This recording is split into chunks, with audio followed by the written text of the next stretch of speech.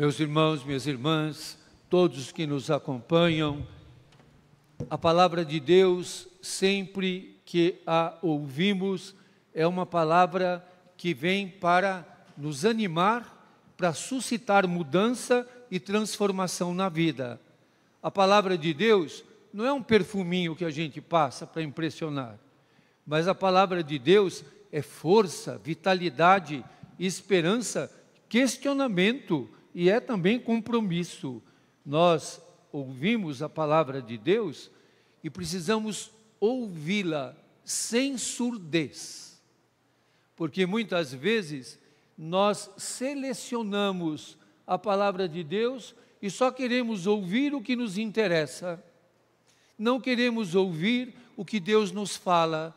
Por isso, na celebração de hoje, nós temos que pedir essa graça de saber ouvir.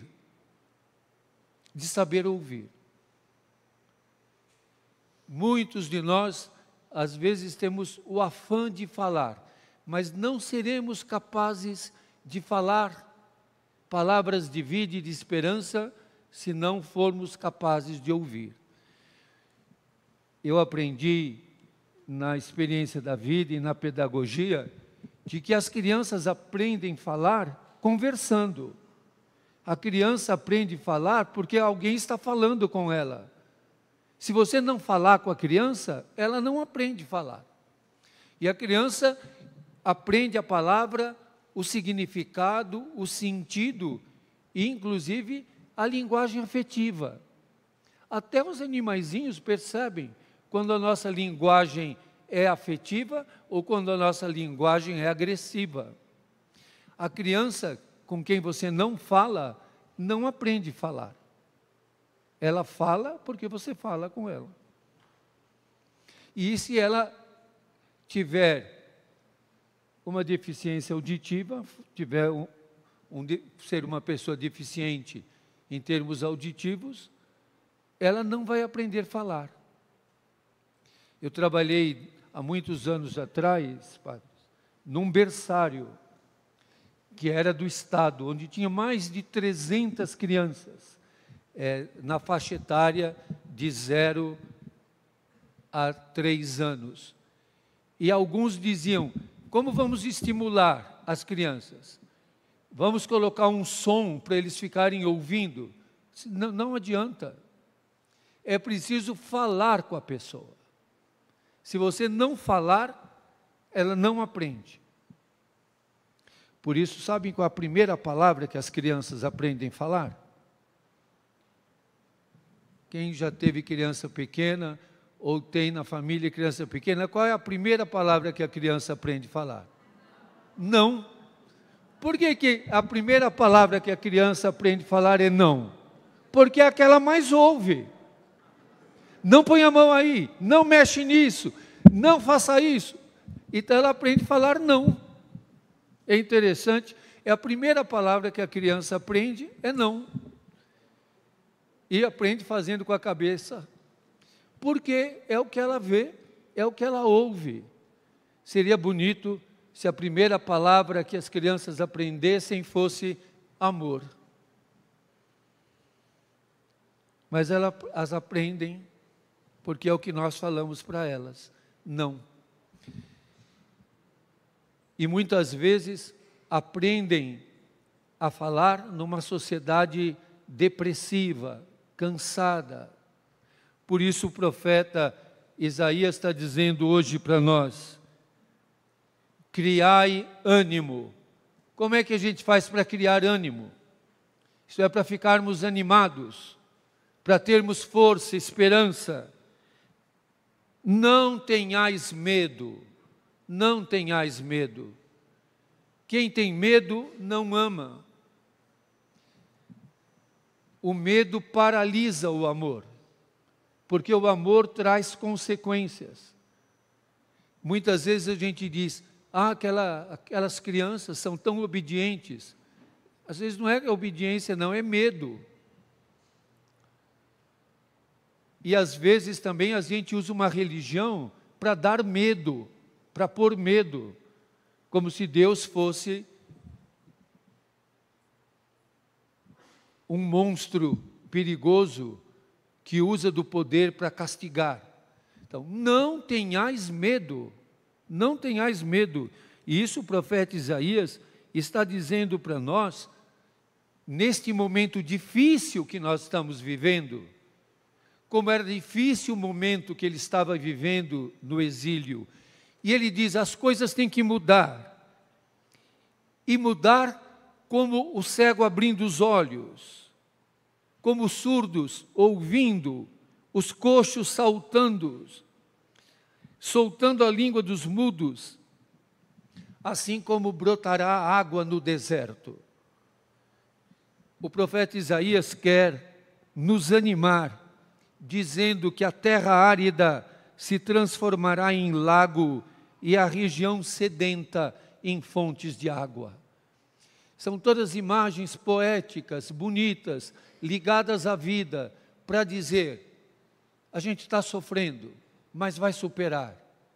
A gente tem sofrimentos, cansaço, desânimos, desafios, ficamos com medo de momentos mais difíceis, mas a gente tem que confiar.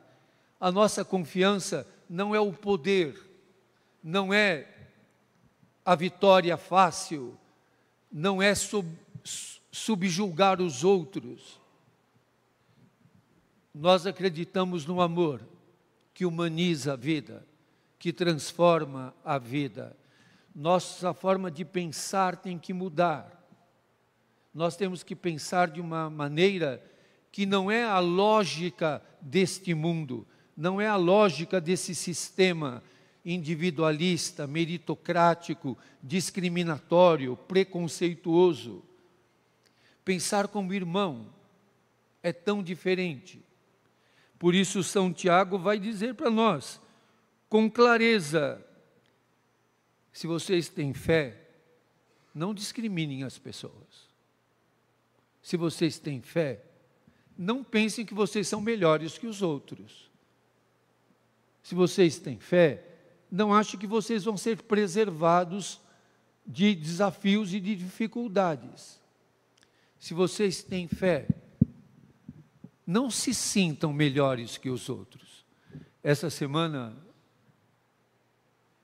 aconteceu uma coisa interessante. Tem uma mãe de santo que tem um trabalho com a população em situação de rua e tem o que chama banho para geral. E ela tem esses, esse grupo de uma religião de raiz africana, tem um, um carro grande que vai pelas ruas da cidade, onde os irmãos de rua podem tomar banho com perfume, com sabonete, com shampoo, e podem ficar todos lavadinhos, limpinhos, colocarem uma roupa limpa, arrumada que tem ali também. E essa semana ela veio com dois ramos de arruda e estava dando bênção em todo mundo. E aí os irmãos de rua falaram: Você vai receber uma bênção também? Eu falei: Vou. E fui lá e recebi a bênção. E alguém fotografou e pôs no Instagram. Ah, o que vem de gente xingando. Onde já se viu o padre recebendo bênção da mãe de santo? Onde Jesus? Quem tem a fé católica não pode. Por que não? Porque você não pode receber a bênção. Você tem que saber quem você é, sem destruir o outro, sem dizer que a bênção dela não vale, só a minha. A fé católica, e é isso que acontece no Evangelho de hoje. Por que, que eles não estão ouvindo? E isso está se referindo aos discípulos, porque eles não entendem que Jesus é para todos. Eles queriam Jesus só para eles. Como tem gente que parece que é dona de Deus, que é dona de Jesus. Só ele sabe o que Jesus pensa. Só ele sabe o que Deus quer. E não é capaz de ler a palavra de Deus e ler esse trecho de São Tiago, dizendo: faz salamaleque para o rico e chuta o pobre. Até nas nossas igrejas, e quantas vezes terão posto Jesus para fora?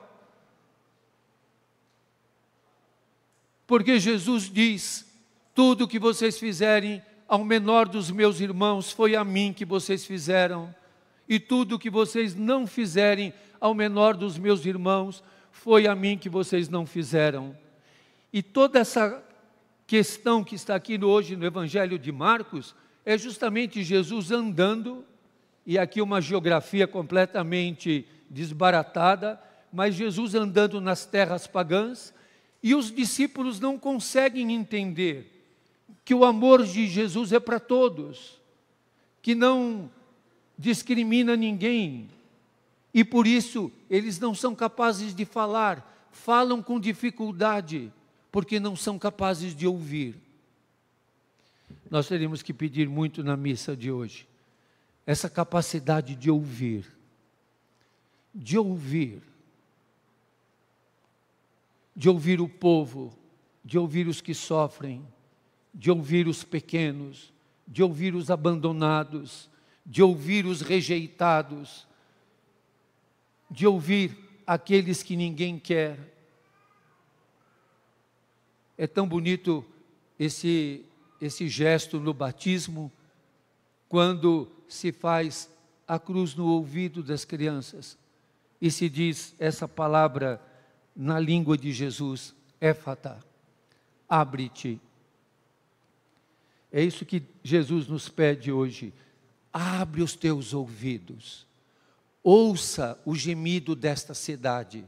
O Papa Francisco falou agora na sua viagem na Ásia e na Oceania: a terra está chorando, o planeta Terra está gemendo, o planeta Terra está chorando. E nós temos que ouvir este choro, esse gemido, para ser capaz de falar. Não falar o que eu quero, falar palavras sectárias, palavras de exclusivismo, de individualismo, mas falar aquilo que a gente ouve de Deus, aquilo que ouve de Deus em Jesus. Jesus é o Deus que fala, Jesus é o Deus que fala conosco. A palavra de Jesus é a palavra definitiva de Deus para nós. Tem gente que fica dizendo: Ah, Deus falou para mim agora isso. Tudo que Deus tinha para falar está falado em Jesus. Jesus é a palavra, é o Verbo de Deus.